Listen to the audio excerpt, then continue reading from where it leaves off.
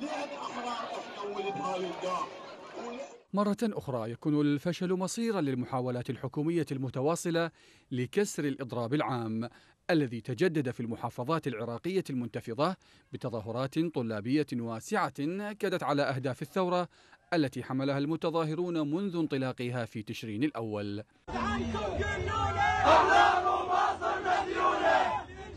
ففي العاصمة بغداد خرج الطلاب الجامعيون بمسيرات حاشدة أمام جامعاتهم مرددين شعارات وهتافات تندد بمن سموهم ذيول إيران مطالبين بالتخلص من أحزاب العملية السياسية وتولي أبناء العراق الأصلاء أمر البلاد. وتوجه المتظاهرون في مسيراتهم نحو ساحة التحرير عاصمة الثورة وأيقونتها.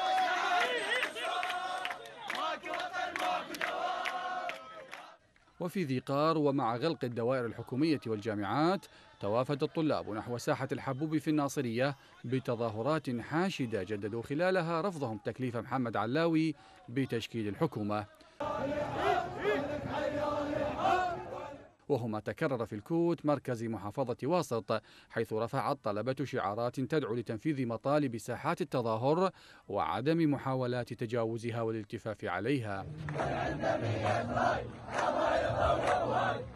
كما دعا طلاب محافظة القادسية إلى التغيير الشامل وذلك خلال مسيرات انطلقت في مدينة الديوانية مركز المحافظة وشدد المتظاهرون على استمرار دعمهم للتظاهرات وعدم تخليهم عن المطالب المشروعة بينما ردد طلبة محافظة المثنى خلال مسيرات جابت شوارع مدينة السماوة شعارات تندد بقمع التظاهرات على يد القوات الحكومية وميليشياتها.